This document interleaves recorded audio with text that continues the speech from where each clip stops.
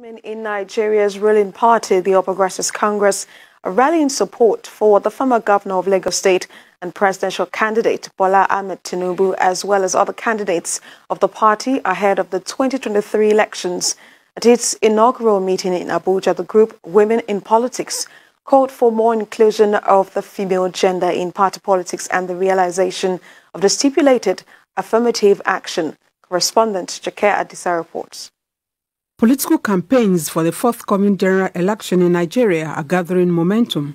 It is the inaugural meeting of APC's Women in Politics. No women, no nation. Great women in politics. Days after the electoral umpire released the list of candidates in next year's national elections, this group of women members of the All Progressive Congress has begun synergizing to lend support for the party's victory top on their agenda is the success of APC presidential candidate Bola Tinubu and other candidates of the party at the polls.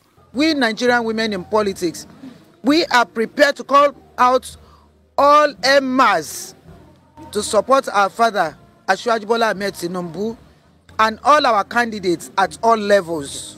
That is our resolution. We are synergizing first by strategizing to work on the election of all our candidates for the success of the party. And of course, as women, we also want to come and you know, request that women should also be carried along. The women are happy the movement is gaining traction and are optimistic of a fruitful end. More significantly, they seek support for all women candidates of the party towards the realization of affirmative action. Even with the National Party Secretariat, you know, a body we intend, you know, to move in there to consult, you know, with those at the helms of affair and to let them know that this body is ready to assist them because we are an asset to them. Having our people in all the 36 states means we are an asset to the party.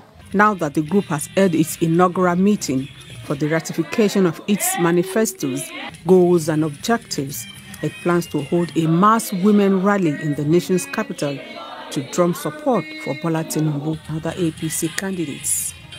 Joke Adisa, TVC News, Abuja.